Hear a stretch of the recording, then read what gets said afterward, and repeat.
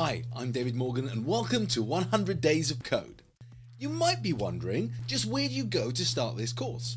Well, we're going to the amazing Replit. From the homepage replit.com, you can click this button down here to start the course, or you can go to join.replit.com slash python. Wherever you go, you'll end up at this page. We're going to click to sign in to start the course. You'll be prompted to create your own Replit account.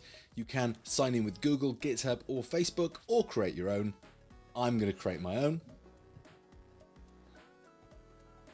Once you've signed in, you'll go straight to the course page. There's a number of ways to get started. You can literally just click start day one, or you can go down and see the 100 days journey to get a preview of what's to come and see who else is coding on those particular days. To get started, click on day one and the REPL will load. Now you'll probably notice that we've done a lot of the work for you within the REPL. Your tutorial pane is on the left so you can read through all the text.